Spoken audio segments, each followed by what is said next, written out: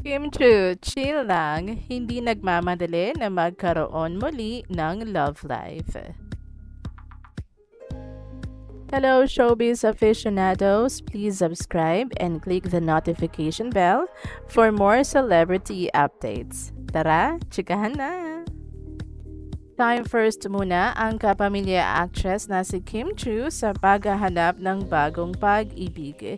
Ito ay matapos magwakas ang labindalawang taong relasyon nila ni Zian Lim noong December 23, 2023.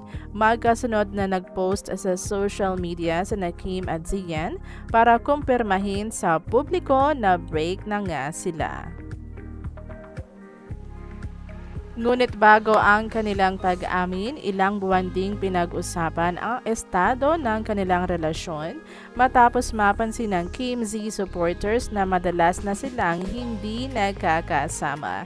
Sa eksklusibong panayam ng ABS-CBN kay Kim noong lunes, January 23, 2024, saktong isang buwan matapos nilang aminin ni Zian sa publiko na hiwalay na sila, natanong si Kim tungkol sa sunod-sunod na proyekto at at tagumpay sa kanyang showbiz career. Tanong sa kanya ng TV Patrol Entertainment reporter na si Gainiel Krishnan, lahat ng kinds of achievement, you have it already. Lahat ng projects na kukuha mo, you are very good at dancing, singing. Siguro ang tanong na lang ng mga tao, ano ba ba ang hinahanap ng isang kimchi? Natatawang sagot ni Kim, hinahanap ko si the one, charot.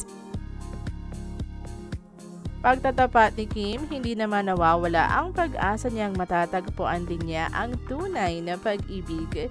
Ngunit sa ngayon ay masyado pa raw siyang busy sa kanyang career.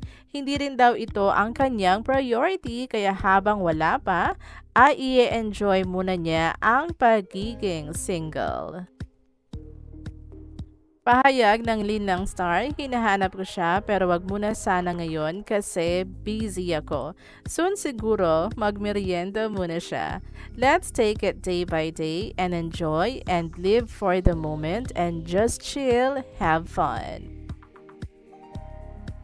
Mga ka-VLT, for more showbiz updates, please subscribe and click the notification bell to keep you posted.